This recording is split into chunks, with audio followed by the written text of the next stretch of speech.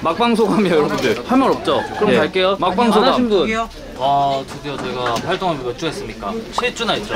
팬분들과 함께 7주 동안 열심히 달려와서 저는 소감보다는 팬분들께 감사 인사를 드리고 싶습니다. 감사합니다. 그래서 저 너무 행복합니다. 네, 안녕하세요. 유정입니다. 저희가 오늘 인기가요를 마지막으로 생일식 활동을 끝냈는데 사바나부터 이번 활동까지 여러분들과 함께 할 수 있어서 정말 영광이었고 어, 올해도 정말 너무 감사했습니다. 내년에도 잘 부탁드리고 저희 빨리 컴백할 테니까 저희 기다려주세요. 여러분 수고 많았어요. 안녕. 그 다음을 이어서 우리 규빈이 형.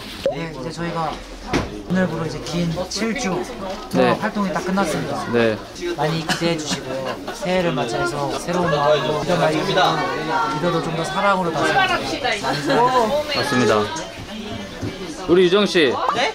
네. 여기 인가 드디어 막방입니다. 여기 보시면 저희 OnlyOneOf 대기실 정말 너무 수고 많으셨습니다 여러분들. 저희 OnlyOneOf와 같이 7주 동안 달려주신다고 고생 너무 많았고요. 아까 규빈 형이 말한 것처럼 2020년도에는 모두 다 즐거운 일만 행복한 일들만 가득했으면 좋겠습니다. 정말 많이 제가 사랑하고 감사합니다. 그럼 제가 마무리할게요. 지금까지 올리언 오브 나인밀리의 준지 러브 유정 규빈이었습니다. 유정 유정 유정. 안녕